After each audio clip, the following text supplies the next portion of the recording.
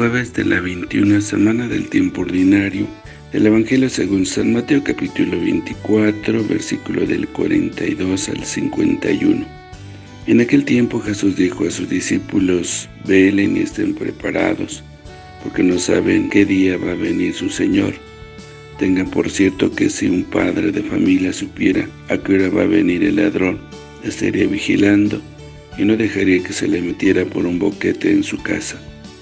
También ustedes estén preparados, porque la hora en que menos lo piensen vendrá el Hijo del Hombre. Fíjense en un servidor fiel y prudente, a quien su amo nombró encargado de toda la servidumbre para que le proporcionara oportunamente el alimento. Dichoso ese servidor si al regresar su amo lo encuentra cumpliendo con su deber.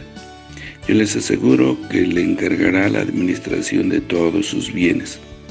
Pero si el servidor es un malvado, y pensando que su amo tardará, se pone a golpear a sus compañeros, a comer y emborracharse.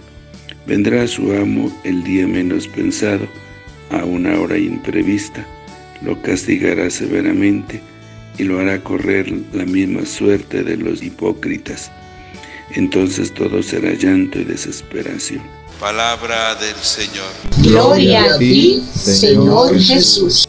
Nos queda el discurso escatológico de Jesús, el quinto y último de los que Mateo nos ofrece en su Evangelio.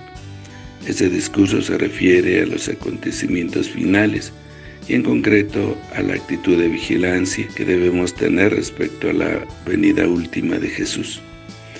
Antes hemos dicho que el momento del juicio final es desconocido.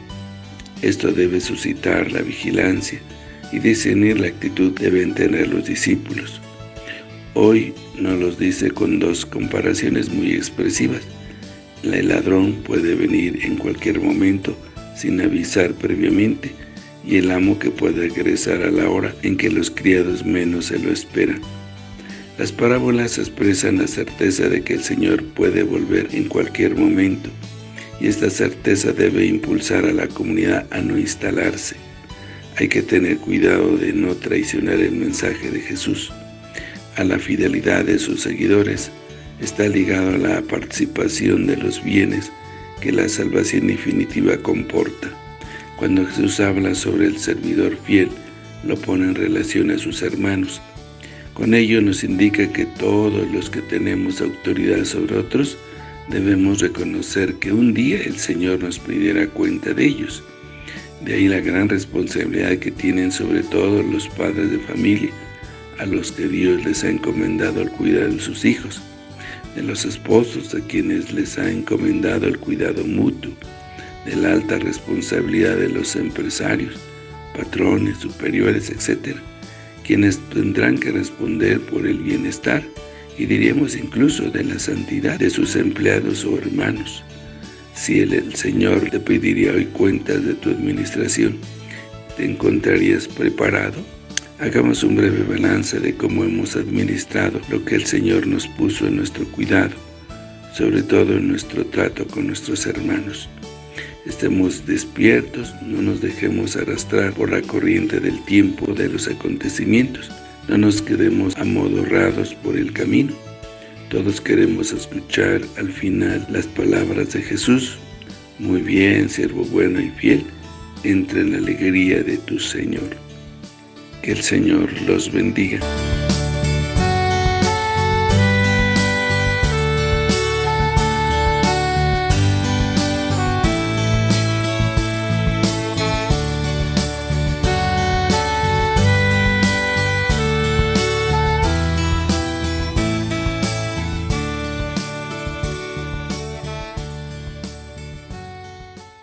La bendición de Dios Todopoderoso, Padre, Hijo y Espíritu Santo, descienda sobre ustedes, que los acompañe siempre. Que el Señor los bendiga. Si te gustó este video y deseas seguir recibiendo el Evangelio, misa en vivo, oraciones y muchas reflexiones más, Ayúdanos a seguir creciendo. Suscríbete a este canal de YouTube. Activa la campana de notificaciones. Deja tu comentario. Dale me gusta.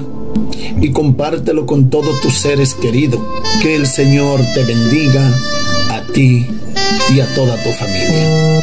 Bendiciones.